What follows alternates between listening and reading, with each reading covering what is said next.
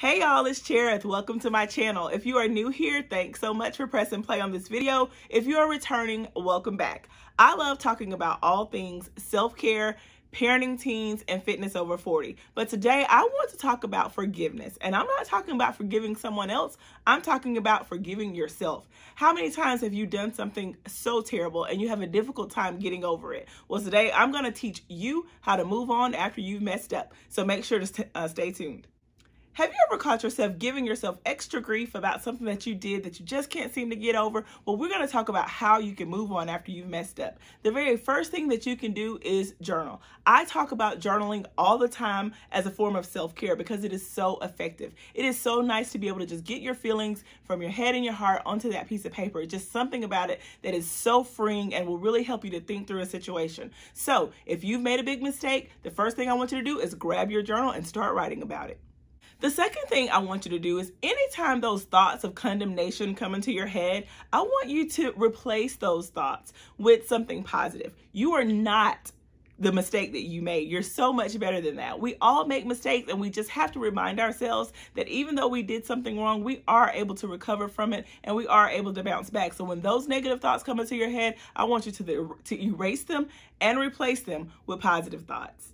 The third thing that I want you to do is think about any positives that may have come from that mistake. If it is nothing else but that you learn how to not do something, that's something positive. You grow when you make a mistake. So I want you to think about when you've made that mistake or when you make that mistake and you keep reflecting on it, I want you to think about the good that could possibly have come from that. Maybe you made that mistake soon enough so that you're not hurting a whole bunch of people or whatever the case may be, but you just want to make sure to think about the positive situations or the positive outcomes that came from that mistake. Number four, I want you to practice compassion. Give yourself compassion. You know, a lot of times we're still thinking about that thing that we did wrong, and everyone else, the people that we wronged or the mistake, you know, whoever we made the mistake against, they're not even thinking about it anymore. So I want you to practice some compassion. You know, we forgive other people when they do things wrong, and you're the same. When you do something wrong, you apologize for it, you learn from it, and then you go ahead and forgive yourself from it. Show, uh, show yourself some compassion and move on.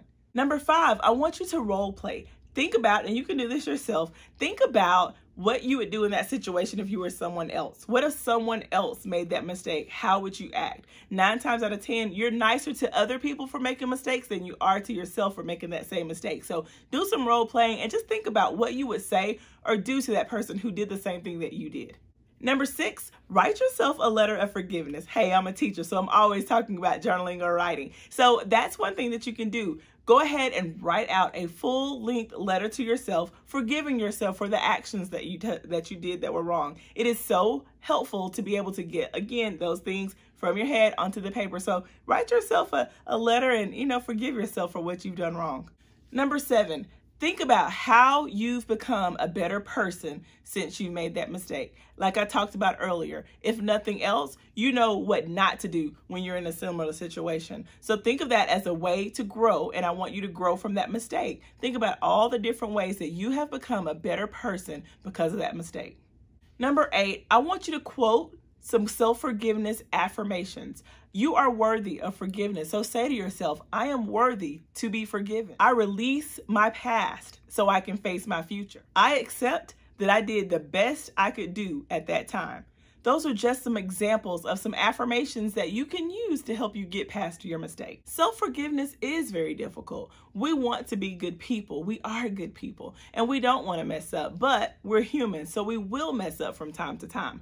I don't want you spending too much time dwelling on that mistake because, again, you're not your mistake. You are so much bigger than that any one moment in life.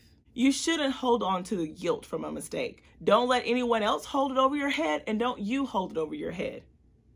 I'm going to drop a link below to a blog post that I wrote about self-forgiveness techniques. In that blog post, I go into great detail about these specific techniques, and then I also give some other tips and strategies that you can use to move on when you've messed up. You deserve to be forgiven, and you can forgive yourself. I want you to take that mistake, learn from it, and go on to be the best you that you can possibly be. Thank you so much for tuning in, and I will see you in the next video.